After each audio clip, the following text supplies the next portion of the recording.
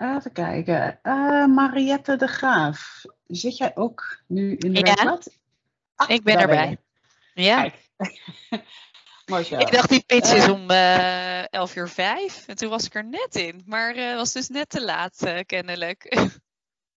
Kijk, nou, ik ben blij dat je er nu gewoon in zit. Ehm, zoals ik al zei in de pitch, ik doe deze presentatie samen met een van de deelnemers van de werkplaats. En dat is dus gemeente Lantingerland, Mariette de Graaf. Um, maar dat komt zo. Ik zal eerst even mijn presentatie gaan delen. Eens even kijken.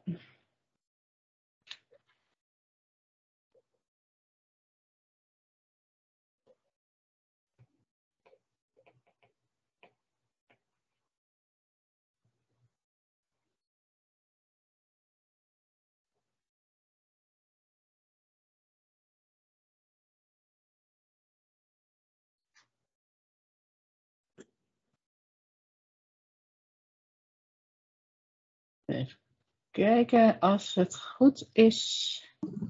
Zien jullie nu een presentatie van mij? Klopt dat? Is het in beeld? Oké. Ja. Uh, de werkplaats uh, grip op omgevingsplan. Uh, we hebben een eerste sessie, net voor de zomer zijn we begonnen, met een aantal gemeenten met verschillende leveranciers. Van eigenlijk vanuit de vraag van ja, um, we gaan naar zo'n omgevingsplan toe, we willen naar zo'n uitvraag toe. Um, maar ja, weten eigenlijk niet goed hoe nu op gang te komen. En ook dat we zien dat heel veel samengewerkt met adviesbureaus. Er wordt ook gevraagd vaak om juridische regels. Um, dus we zijn deze werkplaats voor de zomer begonnen. Wat eigenlijk uit de eerste sessie ook al bleek. Um, mensen willen ook, graag de, gewoon, willen, willen ook graag de software in. Hoe werkt het nou dat samen met je, met je adviesbureau in de software en dergelijke. Maar dat we verschillende software hadden, um, is dat niet altijd handig. Dus we zijn na de zomervakantie zijn we begonnen met software specifieke sessies. Uh, Mariette de Graaf vanuit Landsingerland heeft meegedaan aan de sessie met de Sera gemeente. Momenteel zijn we bezig met een Roxit groep. Volgende week begint er weer een Roxit-groep. En die week erop weer een Roxit-groep. Uh, volgende week ook nog weer een Tessera-groep. Ook nog overige leveranciers. Um, dus beginnen echt de komende twee weken beginnen we weer met vier nieuwe groepen. Uh, dus heb je Roxit, Tessera of een van de overige leveranciers. Je kan je nog gewoon aanmelden. Um, want ook uh, nou ja, als er gewoon te veel zijn, dan beginnen we gewoon weer nieuwe afspraken te maken. maar wat doen we nou eigenlijk in die werkplaats?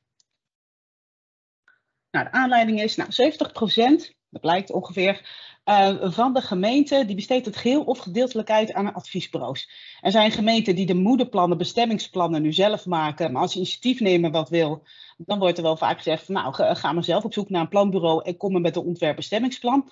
Er zijn gemeenten die alles bij een adviesbureau neerleggen, ook de moederplannen uh, bij verschillende bureaus, of ze werken met één bureau samen. Er zijn verschillende manieren waarop gemeenten werken. Ook de grote gemeenten, die werken ook wel vaak voor kleinere plannen of grotere met de adviesbureaus samen. Dus ik denk zelf dat het zelfs nog wel meer dan 70% van de gemeente is die bij een plan ergens een bestemmingsplan samenwerkt met een adviesbureau. Uh, met name de kleinere gemeenten hebben nu niet allemaal bestemmingsplansoftware. Ze hebben ook niet altijd een planmaker. Want als je ook ziet dat er komt er een handreiking voor de planmaker. Ja, een aantal uh, gemeenten die hebben zoiets, ja, maar wij zijn geen planmaker, wij zijn meer een planregisseur. Um, wat je nu ook ziet bij veel gemeenten, je krijgt van je planbureau een GML-bestand, die zet je op ruimtelijke plannen neer. En ja, dan ben je eigenlijk wel klaar. Um, je krijgt dan van je planbureau soms een PDF, met name als je ook geen plansoftware hebt nu voor bestemmingsplannen. Die lees je door met een gele viltstift. Um, dus die technische uitwisseling, plan to plan, is er niet. Ik denk dat dat ook een van de grootste wijzigingen is. Nu bij bestemmingsplannen hebben de adviesbureaus de software en die maken de wijzigingen van het eh, bestemmingsplan. En straks hebben jullie als gemeente, als het goed is, hebben jullie allemaal de nieuwe plansoftware. En jullie zijn dus zelf de beheerder van de plansoftware. En je hebt ook maar één omgevingsplan. En dat betekent dat de opdrachtgeverschap richting dat adviesbureau en met je adviesbureau gaat wijzigen. Nu vraag je om een bestemmingsplan op te stellen. Straks is het een wijziging van het omgevingsplan. Um, en de gemeenten die we gesproken hebben, die al een opdracht hebben gedaan, die zeggen nu van ja, eigenlijk hebben we iets gekregen wat we niet gevraagd hebben. Ja, is misschien je vraag niet goed geweest. Dus daar gaan we het over, altijd over hebben in de werkplaats. Um, want je hoort ook heel vaak, uh, we gaan een omgevingsplan maken. Nou, dat is een van de eerste dingen waar we het ook echt in de werkplaats over hebben. Maar we gaan ook echt laten zien je hebt een omgevingsplan, je krijgt hem. Hoofdstuk 1 is al gevuld met alle begripsbepalingen en hoofdstuk 22 is ook gevuld met de bruidschat.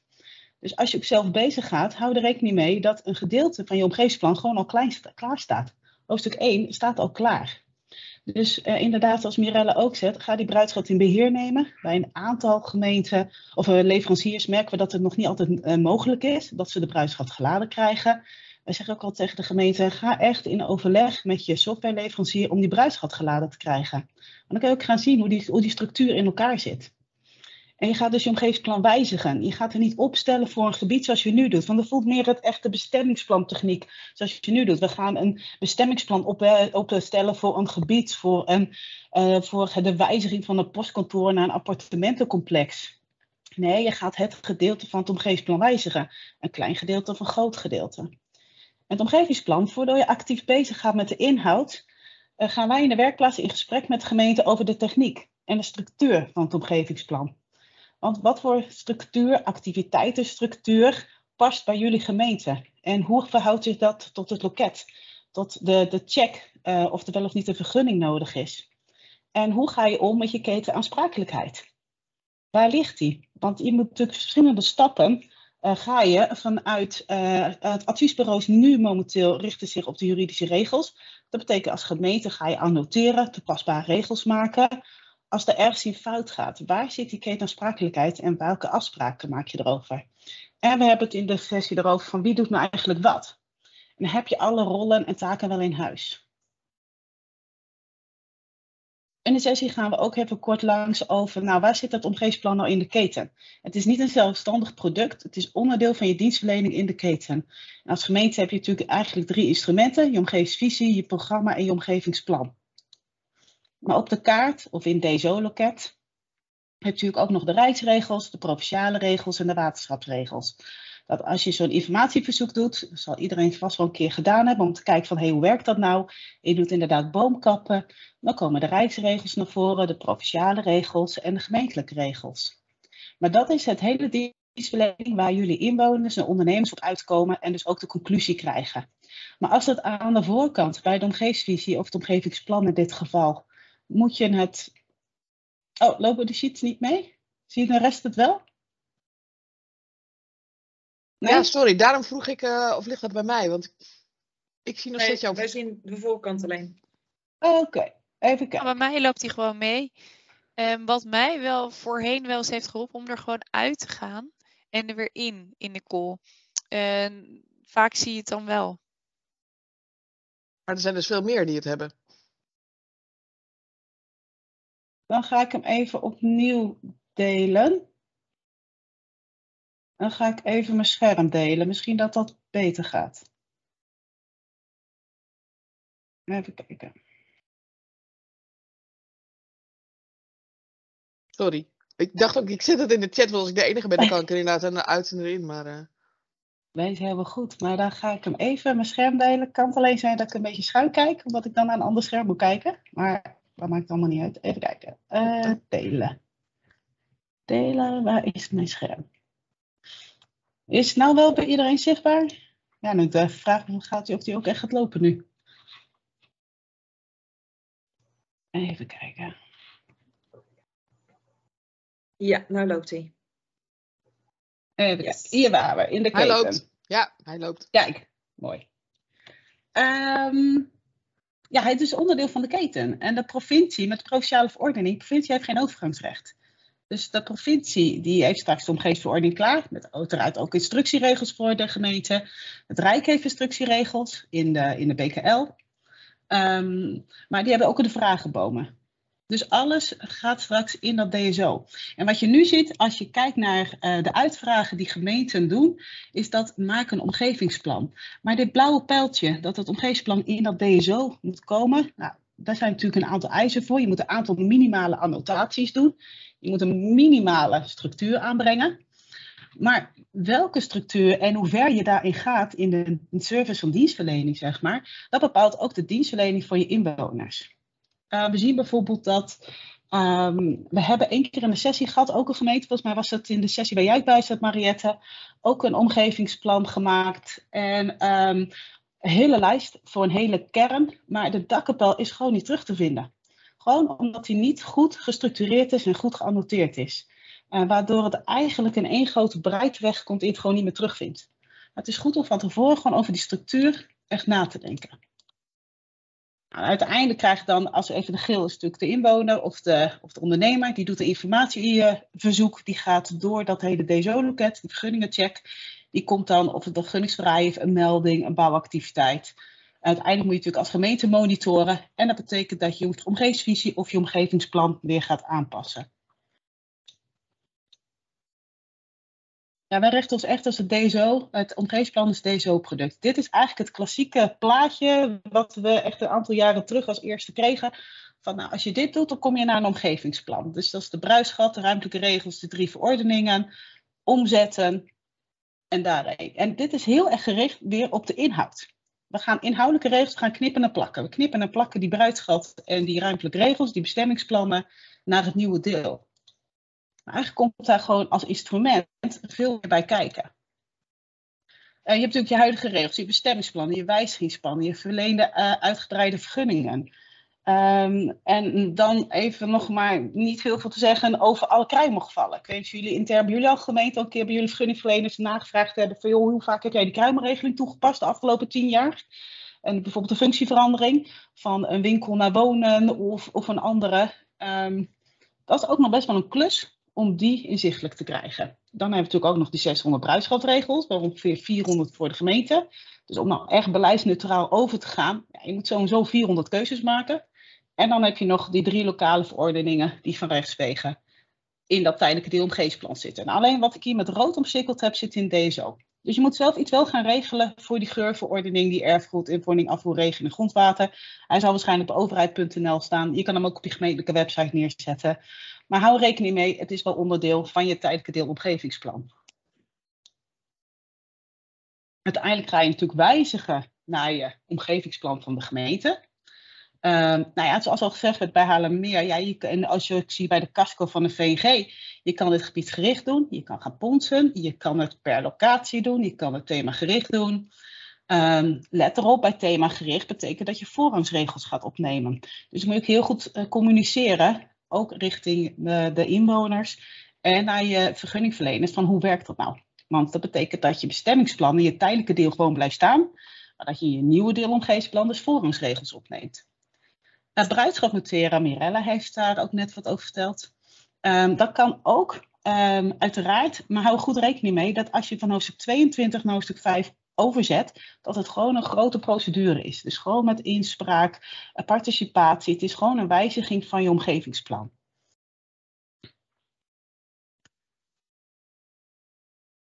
Nou, uiteindelijk zet je natuurlijk alles over. Uh, de omgevingsvisie. Dat is een keten. En vandaar de keten kijken we ook telkens weer terug, ook uh, in de werkplaats van hey, je hebt een omgevingsvisie of je hebt hem nog niet, maar je hebt vast wel ergens gemeentelijk beleid. Uiteindelijk heb je een omgevingsvisie waarin staat wat je wil, wanneer, hoe en welk instrumentarium. Bijvoorbeeld wij willen in 2040 een gehele gemeente aardgasvrij hebben. Uh, hoe? Nou, dat gaan we zeggen dat bij alle verbouwingen of bij nou, nieuwbouw zal verplicht. Maar nou, wanneer, uh, als er bepaalde functiewijziging is, dan gaan wij als eis opleggen leggen dat het aardgasvrij moet. Daar kan de raad over na gaan denken. Gaan we ook eventueel subsidieregeling inzetten? Gaan we het verplichten? Gaan we het uh, stimuleren? Wat gaan we doen? Maar uiteindelijk, je doel van willen aardgasvrij um, al die doelen van je omgevingsvisie. Als je kijkt naar de casco van de VG, hoofdstuk 2 is de doelen. En daar is zeg maar de link met je omgevingsvisie. Daar komt zien wat willen we nou eigenlijk bereiken met dit omgevingsplan. En dan hoofdstuk 3 inderdaad programma's. En dan omgevingswaarden en hoofdstuk 5 verdeling van functieactiviteiten. Nou, en Meer heeft net wel verteld van dat ze daar best wel mee gestoeid hebben. Van hé, hey, maar wat zet je nou in hoofdstuk 4 neer? En wat zet je nou in hoofdstuk 5 neer? En wat is nou een functie en dergelijke? Um, wij gaan niet zozeer in op de inhoud van wat zet je nou waar, maar hoe zet je het daar neer? En hoe maak je de structuur? Want een omgevingsplan is meer dan juridische regels. Is meer dan hoe willen wij omgaan met een erfafscheiding of met het bouwen van een woning. Het gaat ook om de geometrie die je gebruikt. Ga je de BGT gebruiken? Ga je de BAG gebruiken? Um, ik hoor ook veel gemeenten zeggen, ja, we gaan de, de huidige bouwvlakken. Bouwvlakken is bestemmingsplan techniek. Waarom gebruik je een bouwvlak? En wat voor opties heb je? Uh, annotaties. Heb je een annotatiestrategie? Uh, activiteiten, activiteitengroep. Wanneer gebruik je wat? Welke structuur? Welke keus van schrijfwijze? Dit is waar je als gemeente het beheer over hebt, ook als bevoegd gezag. Dit is ook als een adviesbureau voor jou bezig gaat. En nou, vaak wordt er gewoon juridisch advies gevraagd, juridische regels. Maar dat betekent dat je het overige zelf grip op moet houden. En wat houdt dat dan in? Dus je moet keuzes maken van tevoren. En als je een opdracht gaat doen naar een adviesbureau, moet je daarover over in gesprek gaan. Gaan jullie dat voor ons doen of gaan wij dat zelf doen? Want hoe gaan we met gebiedsaanwijzingen werken? Hoe gaan we met gebiedaanwijzingen groep? Wat is dat? Moet ik daar iets van vinden of gaat mijn adviesbureau daar iets van vinden? Ga ik wel of niet een toelichting opnemen bij een afdeling of artikel? Hoe ga ik om met mijn activiteitenstructuur? Ik heb een activiteitsstructuur gekregen, namelijk in de bruidschat. Staan er drie. Bouwactiviteit, milieubelastende activiteit en overig. Bij de bouwactiviteit staat bijvoorbeeld de bouwen, de bouwen, de bouwen van een bouwwerk. En bij overige activiteiten staat slopen. Je ziet dat het vaak net iets anders geregeld is in bestemmingsplannen. Dat als mensen bezig gaan, wordt er eigenlijk geknipt en, eh, geknipt en geplakt. De systematiek vanuit de bestemmingsplannen. Maar als je gaat kijken naar de structuur van de bruidschat, zit daar een andere structuur in. Kijk daar eens naar. Kan ik iets met die structuur? En als ik hem zou uitbreiden, uh, met hoe nu wat voor activiteiten ik in mijn bestemmingsplannen heb, hoe zou ik hem dan uitbreiden? En hoe gaan we om met naamgeving van werkingsgebieden? Wat is het verschil tussen een ambtsgebied, een werkingsgebied, een locatie en een gebiedsaanwijzing? Um, een activiteit en regelkwalificatie. Moet ik daar iets van weten of kan ik dat gewoon tegen mijn adviesbureau zeggen? Gaan jullie dat maar in beheer nemen? En ook wanneer en hoe wordt de bruidschat ge geïmporteerd? Nou, de structuur van de bruidschat, ik ga hem nu even niet laten zien, maar iedereen kan op zijn eigen gemeente klikken en de RTR uh, en kijk naar je bruidschat en dan zie je de structuur, hoe die daar opgebouwd is. En kijk dus naar van, kan ik daar wat mee? Nou, we hebben dus een werkplaats uh, gedaan met verschillende. Wie sluit er aan? Nou ja, we merken dat ook steeds meer planmakers aansluiten bij de werkplaats. Mensen die zelf ook bij een gemeente bezig zijn, uh, net als de Haarlemmermeer en dergelijke, om dus bezig te zijn met hun plan. Um, maar ook de planregisseur, dus die niet zelf in de plannen software bezig zijn. DSO, geomedewerkers, regelanalisten met leverancier, die sluiten dus ook aan in de werkplaats en ook adviesbureaus. De eerste sessie uh, is gewoon een introductie. Wie zijn we, wat zijn we doen, wie heeft er al een plan van aanpak, wie heeft er al een handboek, hoe is iedereen bezig, elkaar leren kennen en ook alvast de basis van wat houdt nou dat annoteren in activiteitsstructuur. In sessie 2 en sessie 3, de laatste keer nu bij Rockset, hebben we precies omgedraaid. dus daar zijn we nog even mee aan het kijken wat nou de juiste volgorde is. Ga je eerst in gesprek met, uh, met de leverancier of eerst met het uh, adviesbureau? Uh, we hebben nu bij de Rockset groep, hebben we dus net gisteren gesprek met de leverancier gedaan. Met Rockset, die sluit ook aan. hoe werkt de software? Hoe hebben zij bedacht dat samenwerken? Welke keuzes moet je maken? we hebben gekeken op de kaart. We hebben bij een gemeente meegekeken die al een gedeelte gemaakt heeft. Welke keuzes hebben ze gemaakt? Waarom? We zijn gewoon actief bezig gegaan in het softwareregisteren. Uh, over twee weken uh, sluiten adviesbureaus aan. Dat gebeurt ook bij elke werkplaats. Uh, verschillende bureaus hebben aangesloten. Altea, RO, Dutch Planners, BJZ, Kuipers. Er zijn al verschillende bureaus hebben aangesloten en ook al nu weer aangemeld. En dan gaan we met, met adviesbureaus in gesprek. Van ja, wat, wat doen jullie? Wat kunnen jullie betekenen voor een gemeente? Wat verwacht je van een gemeente? Dus echt het gesprek gaan tussen de gemeente en die bureaus. Van hé, hey, wij gaan met zo'n uitvraag bezig, maar hoe kunnen we dat nou beste vormgeven? En dan volgens in de sessie, dan is het eigenlijk per groep een beetje verschillend wat we gaan doen. Ligt een beetje ook aan wie de deelnemers zijn. Nou, in het geval van Mariette van de gemeente Landsingerland, die zei eigenlijk in sessie 3 van ja, eigenlijk willen wij nu wel gewoon aan de slag. Wij willen gewoon nu wat gaan maken en willen jullie ons daarbij helpen? Imke heeft dat ook gedaan. En die hebben wat voorbereid en wat ze gemaakt hebben, dus met z'n allen gereviewd in de volgende sessie. En we hebben het in de sessie daarna ook nog gehad over van hé, hey, nou, wat we nu allemaal gezien hebben, komen we eigenlijk tot de conclusie dat je eigenlijk ook wel nieuwe rollen hebt. Dat een omgevingsplan beheren heel wat anders is dan een bestemmingsplan beheren. En dan wil ik ook eigenlijk aan Mariette vragen. Jij hebt meegedaan uh, met, met, de, met de werkplaats. Waarom? Ja. Waarom heb jij je aangemeld? Nou, eigenlijk was het zo dat uh, ik was er al naar op. Ik weet niet of ik de enige ben die nu een verstoring hoort. Oh, hij is alweer weg. Um, Eh, vanuit Danuta uh, van de gemeente Maasluis, als ik het goed heb. Uh, zij had ons gecontact van, goh, willen jullie meedoen? En net op dat moment waren wij ook eigenlijk aan het zoeken naar van, goh, hè, waar kunnen we handvatten krijgen? omdat wij zelf bezig zijn, zeg maar, met maar hoe moeten we dan nou straks gaan werken als, uh, hè, als we die omgevingsplan, als we dat omgevingsplan moeten wijzigen? Uh, dus dat was eigenlijk ook voor ons de aanleiding dat we direct konden gaan oefenen eigenlijk. wij wilden echt daadwerkelijk oefenen met, ehm, met het omgevingsplan. Uh, nou is het, uh, goed, waar Wietske net ook zei van ja, hè, in die laatste sessie hebben we ook daadwerkelijk uh, geoefend. ook daadwerkelijk in het systeem. En dat was super fijn om daar hulp van, van Imke te krijgen. En Wietske heeft inmiddels nu ook een plaatje zeg maar voor gezet. Wat ook een van de grote uitkomsten is geweest voor ons. Uh, want dat was, dat was eigenlijk een beetje bijproduct die voor ons heel waardevol is. Ik heb dit plaatje gemaakt eigenlijk naar aanleiding van de laatste sessie, die vragen en antwoorden, zeg maar, uh, sessie. Um, want uh, bij gemeente Land en er zullen andere gemeenten zich vast in herkennen, hebben wij best wel moeite met juristen aantrekken. En um, wij hebben dus adviseurs RO, hè, ruimtelijke ordening. Uh, maar die hebben ook best nog wel een beetje moeite met van hoe werkt het dan straks nou met, uh, met annotaties. Ik ga veel liever op die inhoud zitten. Nou, als je die twee poppetjes zeg maar in het midden van dit plaatje bekijkt, ehm, dan, dan kan nog steeds die adviseur RO, die kan nog steeds helemaal op de inhoud zitten van zo'n uh, omgevingsplanwijziging. En die kan ook op de inhoud met een stedenbouwkundig bureau uh, door. Die zou ook veel meer um, hè, te maken hebben met juridische regels. Maar aan de rechterzijde, daar zie je een, een andere term voor de mensen die uit de IT komen. Product owner, die, die herkennen de term. Uh, maar die uh, persoon die kan veel meer het overzicht krijgen. En dat zal dan niet alleen bij omgevingsplanwijzigingen uh, dan zijn, maar ook voor zaken vanuit de visie of het programma wat, ehm, hè, wat je goed wil regelen en ontsluiten. dan kan die product owner kan eigenlijk datgene toevoegen wat naast de juridische regels um, het, uh, nee goed, ik vind het altijd makkelijker om met alleen omgevingsplan te praten, maar het omgevingsplan ook daadwerkelijk goed te ontsluiten. En hè, wat, wat, wat heb je daar nog meer aan vast? Zoals de annotaties waar we het net over had, maar ook uh, hè, als je uh, activiteiten bijvoorbeeld hebt geannoteerd, hoe dan daar ook weer toepasbare regels dan weer aan, uh, aan gekoppeld zijn. Die persoon die kan dat ehm, ja, als het ware coördineren.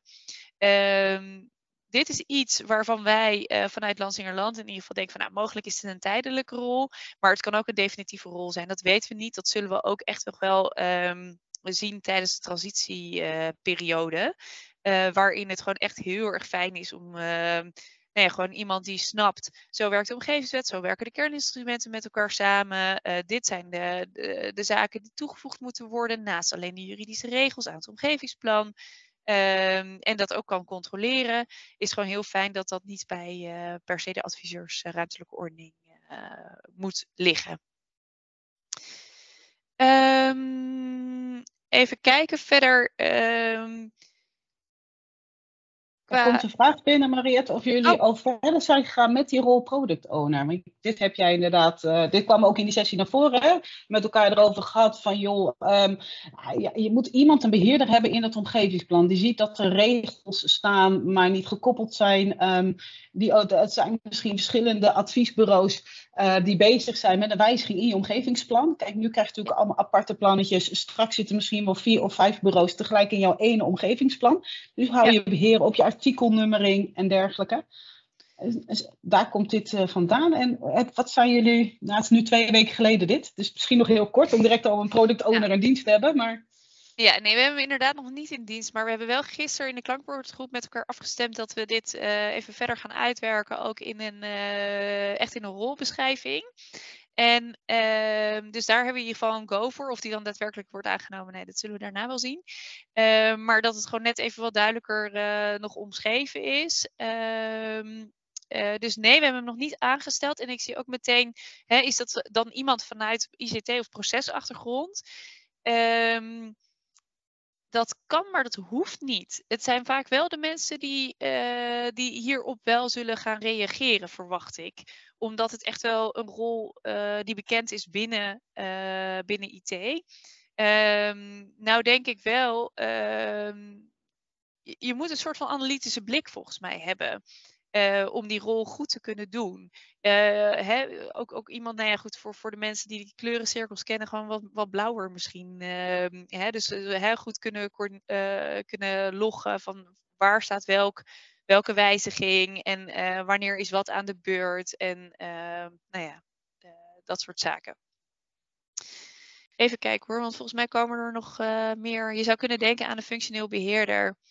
Zegt de IT'er hier. Eh dat zegt Erik Kranendijk. Ja, wellicht. Ehm, ik denk dat we eh, misschien nog wel, eh, nou ja, hoe noem je dat?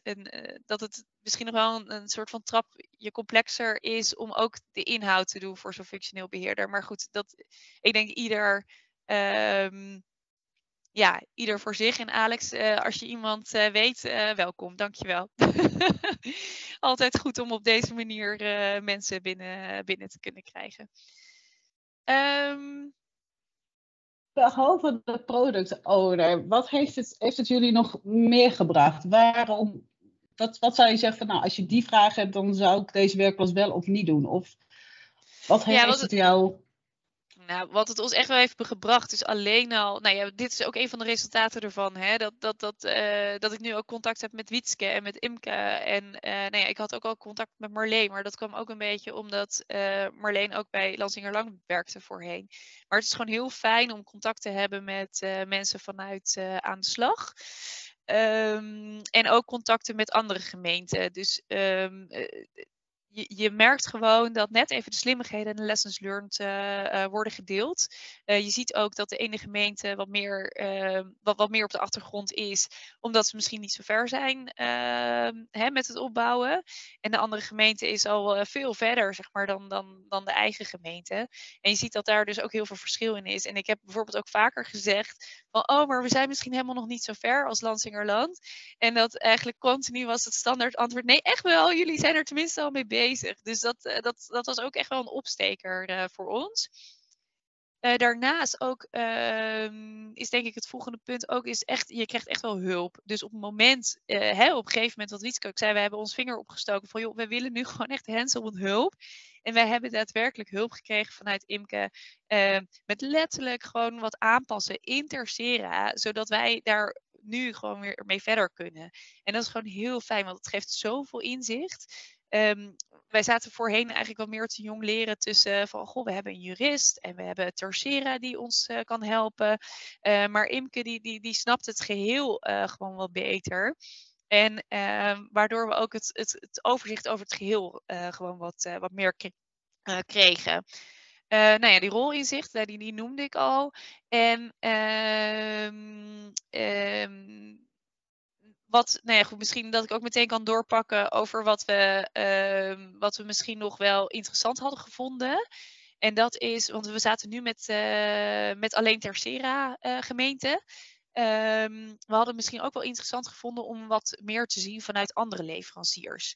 Want, ehm, eh, nou ja, goed, Tercera, daar, daar nou ja, zijn de geluiden eh, verschillend eh, over, zeg maar. De ene die vindt het eh, fijn en is juist van een ander pakket overgestapt naar Tercera. En de ander die denkt van, oeh, maar misschien heeft Tercera nog wel wat beperkingen. En misschien willen we wel overstappen naar een ander pa- pakket. Maar ongeacht of je daadwerkelijk de overstap maakt, is het fijn zeg maar, om, te, om een klein beetje te kunnen proeven. Zeg maar, oh, hoe zit het dan in elkaar? En wat kan de ene softwarepakket en wat kan het andere softwarepakket? En ik denk dat we dat er nog meer uit hadden kunnen halen. Ehm, als, als we mogelijk dus met verschillende pakketten eh, zaten. Maar goed, aan de andere kant, ehm, het is al zoveel eh, wat er in die sessies wordt besproken. Net ook weer nu Wietske dus weer aangaf, oh, maar zo zit, zo zit. En ik, oh, wacht even, dat heb ik, ben ik vergeten. Dus er zit ook, de, de, de informatiedichtheid is best wel hoog. En ik denk dat dat heel fijn is. Even kijken hoor, ik zie nog wat vragen voorbij komen. Uh, Hij staat in de presentatie. Ik zou zorgen dat hij uh, rondgestuurd wordt. Sowieso kan het ook via je Rio aanmelden. Uh, maar op de slag van ADS uh, is hij te vinden. Maar ik zou zorgen dat deze ook nog gedeeld wordt. We hebben naast dat inderdaad via ADS, we hebben ook nu een aanmelding vanuit de regio die allemaal met hetzelfde planbureau werken. Dus er staan een stuk of zeven, acht gemeenten geloof ik. Die zeggen we werken allemaal met hetzelfde planbureau. Wij willen de werkplaatsgrip op omgevingsplan samen met, met het planbureau doen. Dus we hebben ze inderdaad uh, software specifiek. Als je zegt van nou, ik heb de Sera of Roxit of NetGraphics. Ik wil graag vanuit met, met dezelfde gemeenten die dezelfde software hebben. Wil ik graag sparren, dan kan dat. Heb je dezelfde planbureau, geef dat ook aan.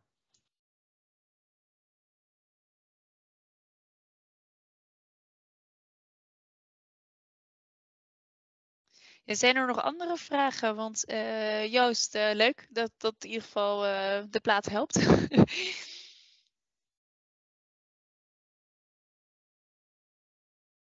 Even delen. Stop. Um, zijn er nog vragen voor, um, voor Mariette of voor mij? Volgens mij moeten we weer bijna terug.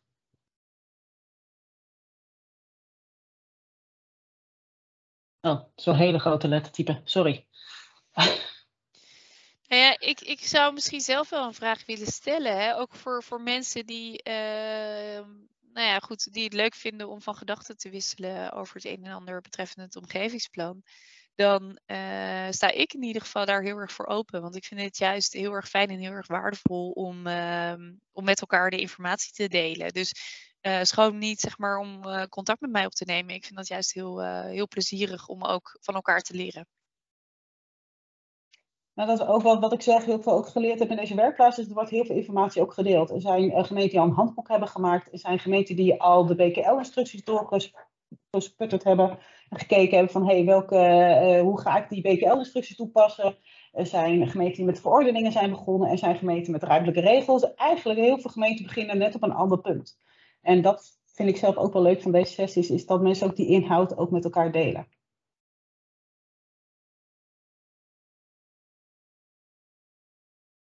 Volgens mij, uh, als er geen vragen meer zijn, dan uh, denk ik dat we weer teruggaan uh, naar de algemene sessie. Als ik het goed heb, rechtsbovenaan op afsluiten en dan weer hervatten. En dan zouden we allemaal weer terug moeten komen in de grote sessie. Dank jullie wel. Jij bedankt.